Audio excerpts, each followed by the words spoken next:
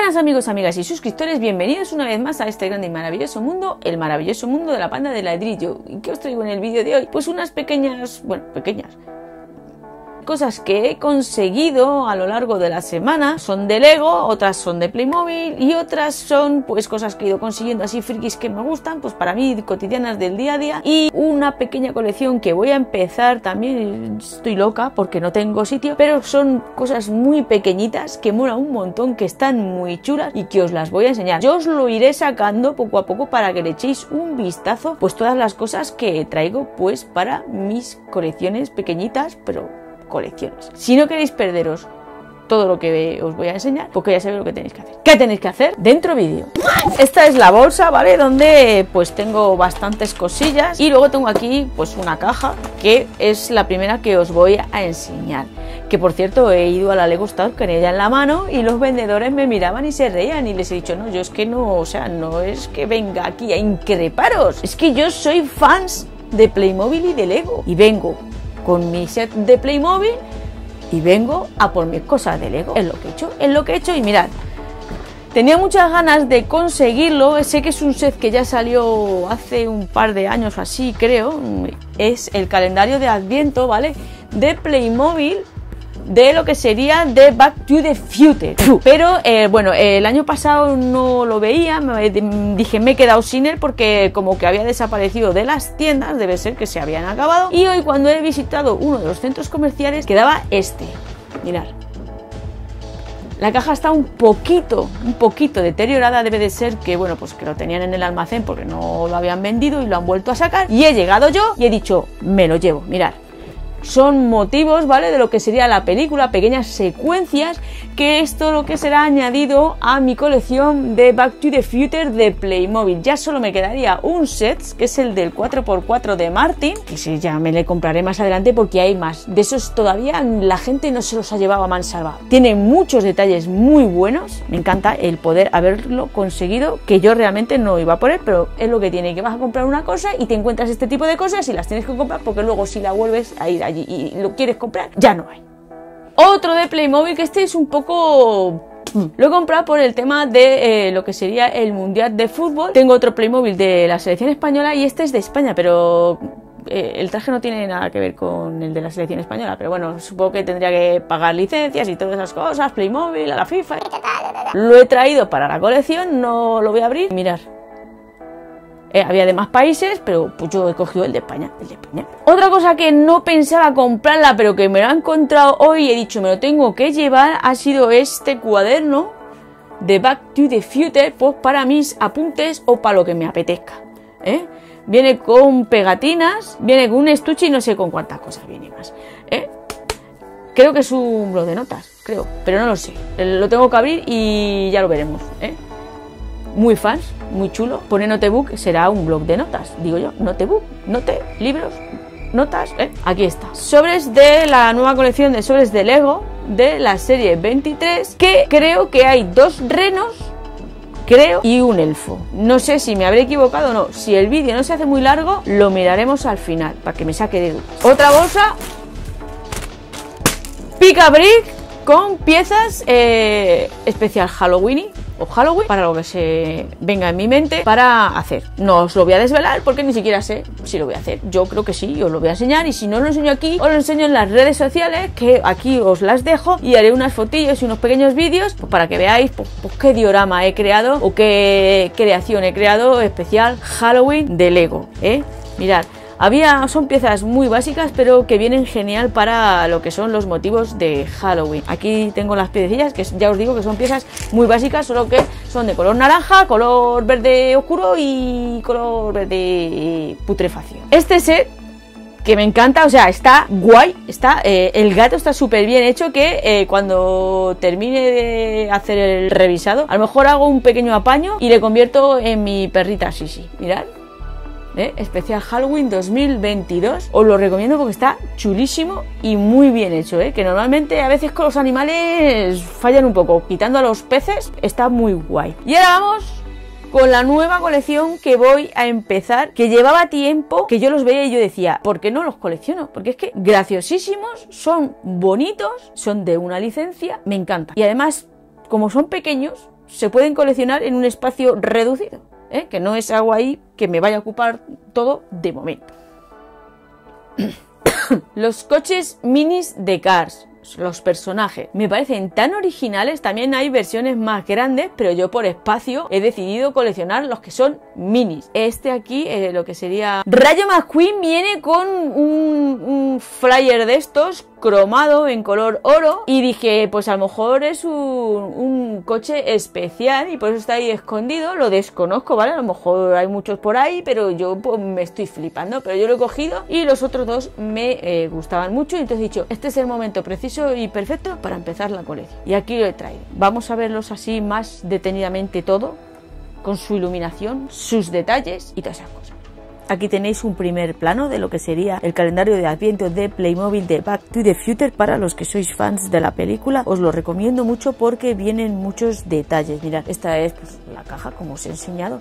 El precio lo dejo, ¿vale? Porque me gusta que venga, pues bueno, pues para en un futuro pues ver cuánto era su precio, cuánto costaba y dónde lo compré, en qué centro comercial lo compré. No sé, cosas que me gustan. Mirad, aquí vemos todos los detalles que vienen de pues todas las piezas. Aquí vemos todos los Playmobil de, de Dog, ¿vale? ¿vale?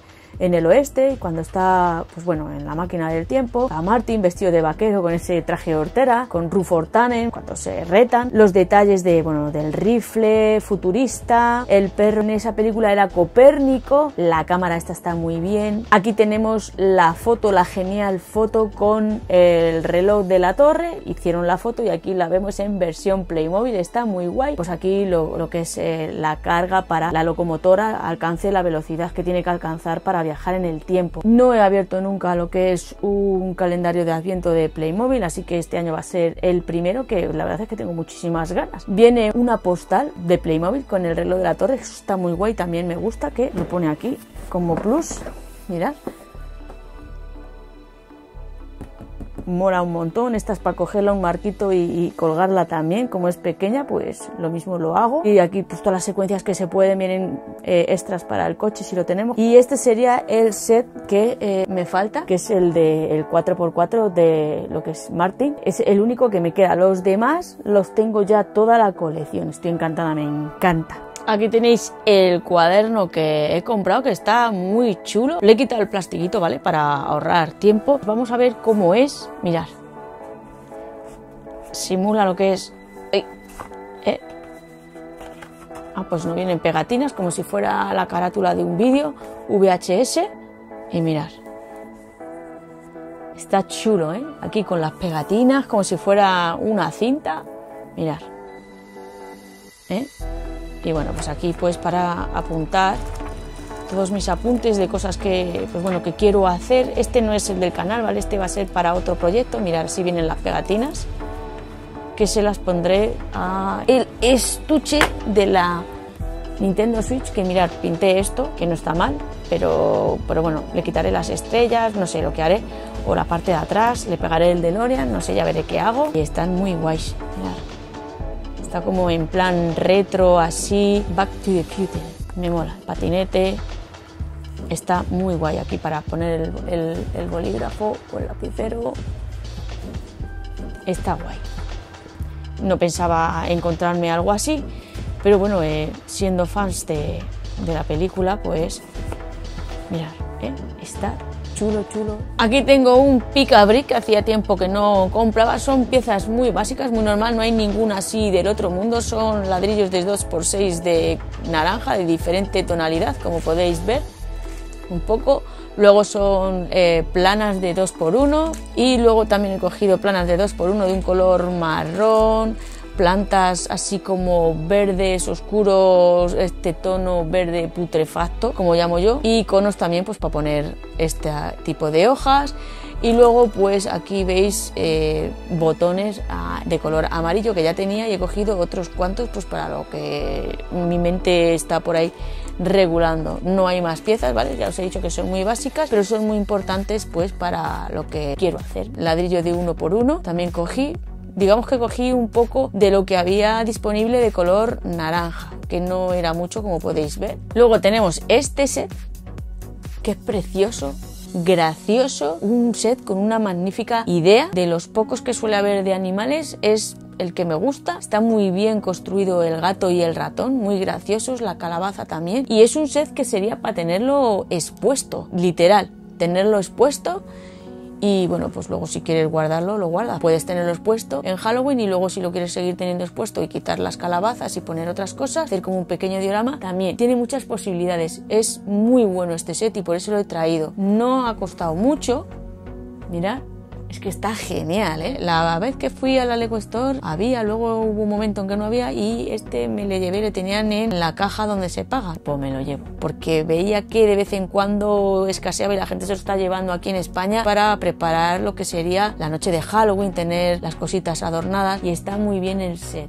Mirar este pequeño blister, los personajes de Cars, que hay un montonazo. Yo he visto la primera película, pero hace mucho. Tengo pendiente las otras dos. Los coches me encantan. Sí que es una película que la veo para un público infantil, pero los coches me molan. Siempre que veía los coches quería comprarlos, pero con esto del Lego y bueno, pues lo que os he comentado antes, me daba un poco pues de no saber qué hacer. Pero cuando vi este dije, bueno, estos son chiquititos, se pueden guardar bien, no ocupan mucho son muy simpáticos, ¿eh? Es que están geniales, me encantan, originales, vamos, a tope.